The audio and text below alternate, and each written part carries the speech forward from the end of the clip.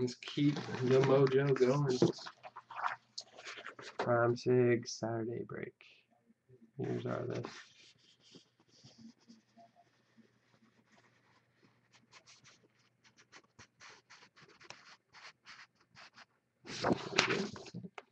A box of Prime.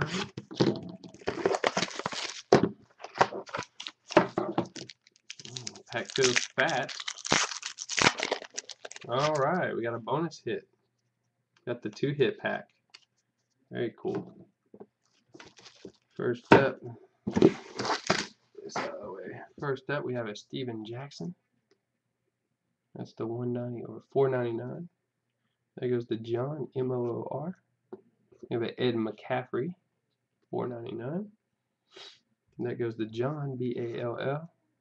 We have a prime proof Keyshawn Johnson, 42 of 99. That will go to Justin. First hit is a Dan Herron rookie auto. That will go to John B A L L 199. And our next hit is a Mark Barron rookie prime signatures for Tampa. That will go to Justin H A L. Very nice. Got a two hit box.